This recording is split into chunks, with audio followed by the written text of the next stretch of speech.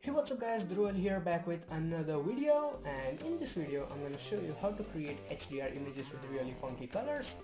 And the fun part is that this is actually the first video by me discussing topics like camera raw and HDR so this is gonna be a lot of fun. So let's get started.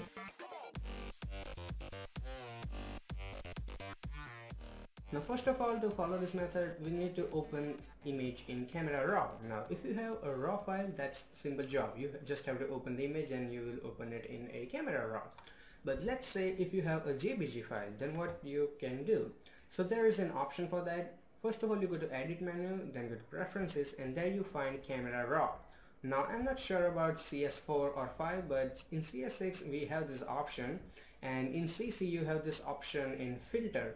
So first of all let's go to camera raw and in the camera raw here in JPG and TIFF handling you have to select open, uh, automatically open JPG with settings or all JPG supported uh, whichever option is fine with it.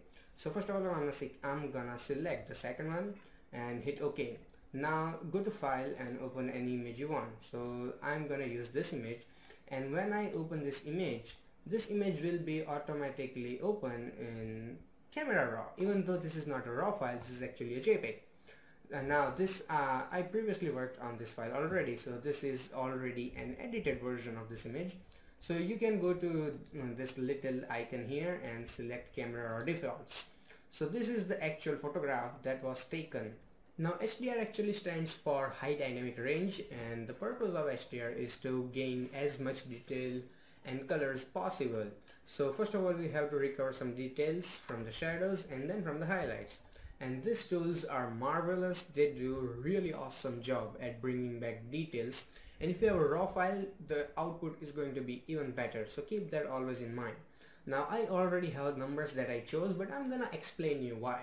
So first of all exposure I wanted to brighten it up a little bit a touch so first of all 0.50 exposure. So as you can see that's that's a lot of difference even though it's just 0.5 then let's go to contrast and I want to get rid of the, some contrast so I can make it as flat as possible minus 54 and I'm gonna show you why I'm making it flat. Now highlights uh, highlights are minus 85 so this really helps to bring back that detail in the sky as you can see here if I make it normal and uh, let's make it down to 85 or maybe don't have to be super accurate. So as you can see this brings back bringing this my tongue is really out of control today. So this brings back a lot of details. Now let's start with the shadows. Now in the shadows plus 54 so when you increase the shadow it will increase the details that are in the shadows as you can see. So increases the details. And this is kind of a really easy compared to what you use adjustment layers. Not as versatile but still really easy if you're a beginner or something.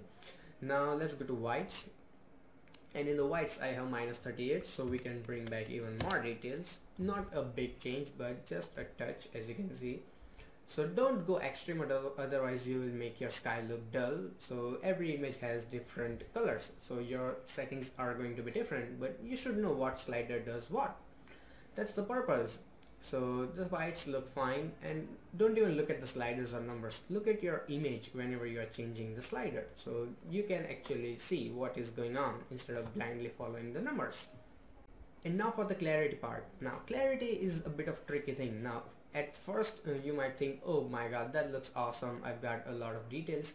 But when you increase it more than necessary it's gonna make it blotchy and darkish. I don't know what is the word for that but it definitely makes it look uglier. So this is uh, good when it's in control. So I'm definitely gonna use a limited amount like maybe 40 or something like that that looks fine or maybe even less. Now there is an option for sharpening let me find. So this is the sharpening but I do not like this option because this just makes image a bit noisy and a lot sharpen.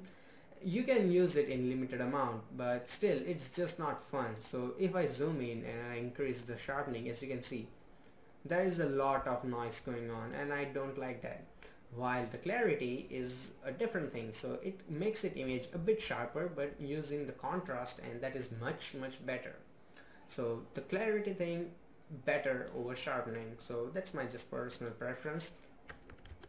And sometimes if you have if you get lucky you can also use sharpening uh, without making it noisy or anything. So always give it a shot so this is the second option here something that you are familiar with curves if you use the Photoshop in adjustment layers or somewhere. So this is basically the curves but with a little more controls over the shadows and highlights and as you can see here. So I have numbers for each and everything noted down. So first of all highlights is 13 to add a bit of highlight but this is not very dramatic change or something but you just have to keep uh, realize you have to keep it subtle. Don't go too extreme. Step by step you can make it better but just don't use any option like crazy. Now the lights so lights are minus 16 so bring back even more details from the highlights. And this is totally optional. This is not going to make even really big impact.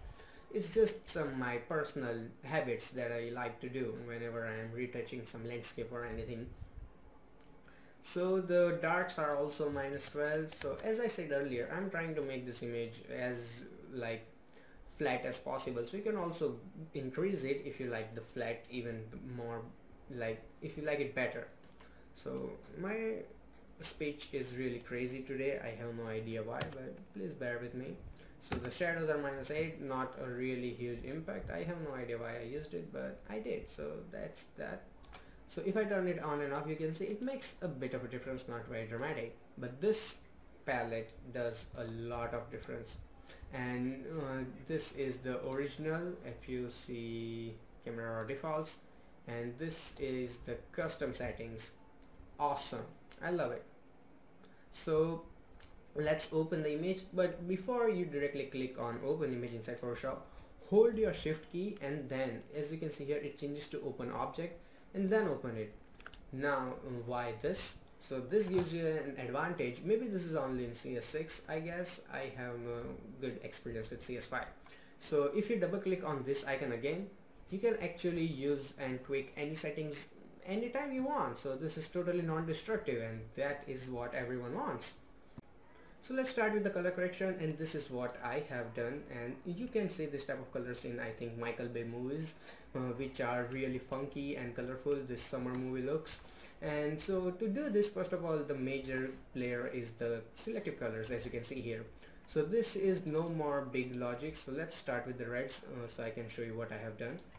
So here in the adjustment panel you can find selective colors. The first one and then in the reds first of all I increase the red because we have red in the buildings.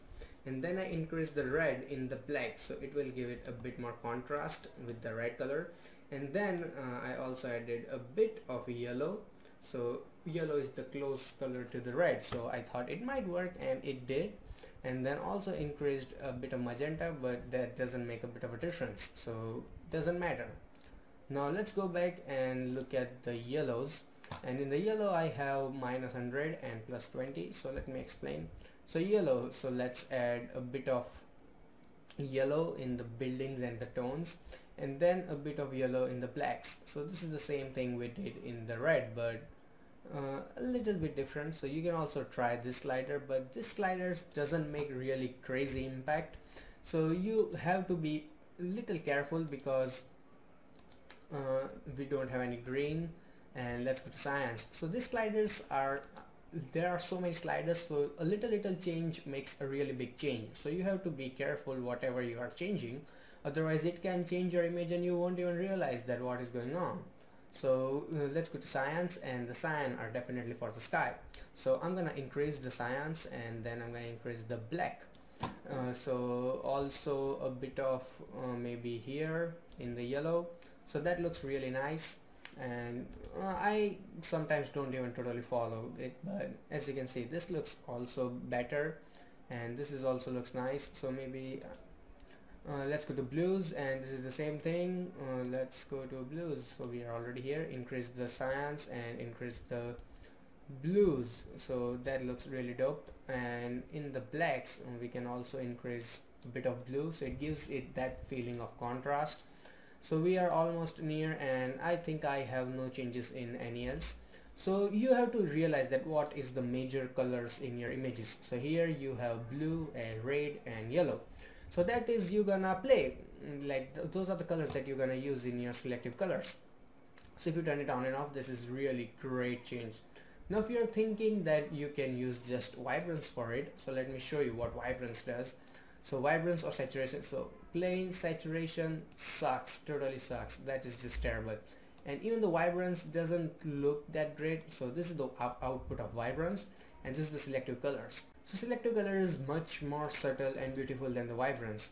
So delete the vibrance and play with selective colors. Now if you go back and you see I have a bit of curve and that is nothing. It's nothing major just a bit of points to create a little contrast so this is kind of optional. If you want to use it use it or don't use it. Doesn't matter. So let's go to curves and I'm gonna make a little bit adjustment. And whenever I'm working on image I do not decide that today I'm gonna use curves or something. I just go with some options and then I see which one is working really good with the image I'm working on. So every image has different story so you have to just kind of get used to it don't stick with the numbers or some permanent method. Now we get to use the vibrance to boost the colors to that funky level. Now these are bit of good colors no doubt but these are not funky or cool looking. This is just natural but we want to take it to the next level right? So let's go to vibrance and increase it full 100% I don't even care. You can decrease it a little if you think these reds are intense a lot so that looks really great and we are almost done. So let's see what we have next. So this is the color balance to give it even a little bit more contrast. So let's go with the shadows. I have a little bit of blue very little and see I have selected this preserve luminosity. Otherwise it will not give that contrast. It will be flat. So let's go with the preserve luminosity. So let's go back and select color balance. Where is it? Here and in the shadows so I have selected the preserve luminosity and increase the blues a little to give it that feeling of nature like in the movies you usually see in the summer movies. So let's go to yellows. Oops not the yellows. Let's go to your highlights and increase a bit of yellow. So that looks nice so the final output is ready and if you want to see the after before let's go here and I have this original image here. So I am just gonna copy it press ctrl A and ctrl C to copy it and let's paste it here. So uh, if I turn it on and off as you can see this is the image that we started and this is the final output which is freaking amazing. And we did not even use any raw file. It was a completely JPEG file and we used help of camera raw to create this HDR image. So tell me uh, this looks awesome to me so tell me your thoughts about this image in the comments. So I hope you learned something and if you have any kind of question related to this video or my any other video feel free to ask me in the comments. And how about hitting that subscribe button?